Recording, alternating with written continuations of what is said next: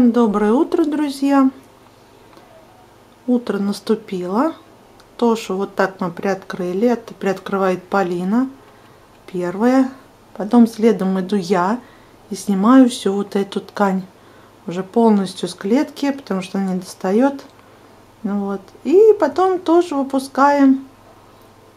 Сразу же, если мы дома никуда не собираемся, выпускаем полетать по квартире. Вот так начинается Тоша на утро. Ну давайте проверим, сейчас он вылетит или нет.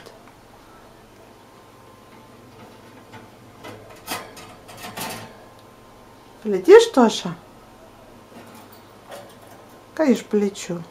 Скажи, если вы мне тут мешаться не будете на дороге, то обязательно полечу. За окном сегодня у нас пасмурно.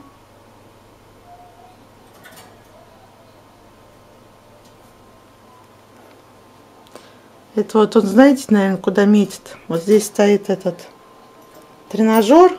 И вот здесь ручки я накрываю всегда его вот этой тканью снимаю и сюда вешаю.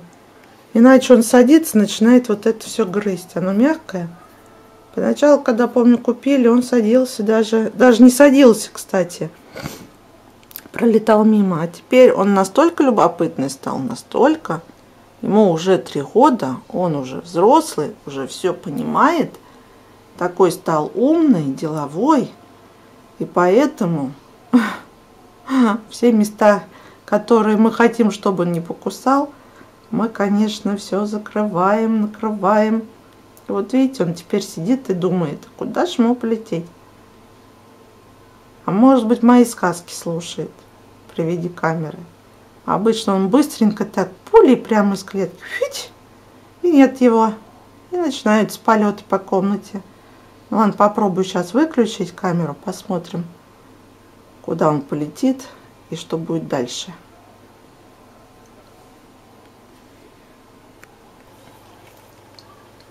Ну и что происходит, как вы видите. Ткань я сняла с клетки. За окном также пасмурно, в комнате темно.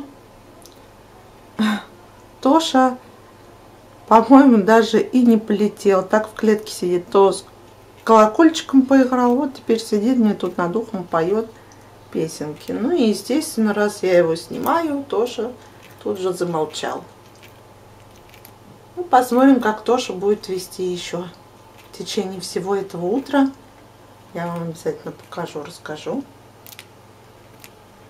Что-то тут поел, что-то перебирает своим клювом. Ну вот, а теперь прилетела сюда. Полина только что ушла, тут читала литературу, и Тоша ей подпевал. Тоже вместе с ней читал. Ну, конечно, он по-своему, она по-своему. Только она ушла, и Тоша замолчал. Ну, обычное дело. Вообще я замечаю, вот напишите, кстати, друзья, как у вас попугайчики. У нас начинает разговаривать только тогда, когда кто-то начинает вокруг разговаривать, будь то телевизор, будь это человеческая речь, и он тут же подключается, тут как тут. Вот такое интересное наблюдение. То есть любит он пощебетать именно, да, под разговоры.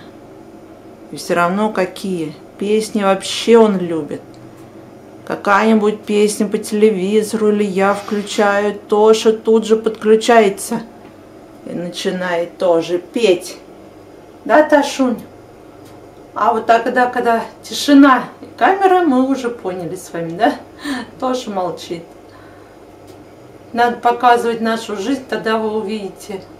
Нет, ну мне иной раз хочется включить, когда он поет песни по другие песни, но боюсь, YouTube заблокирует это видео, потому что, как вы сами понимаете, песни чужие он не разрешает, авторские права, все такое.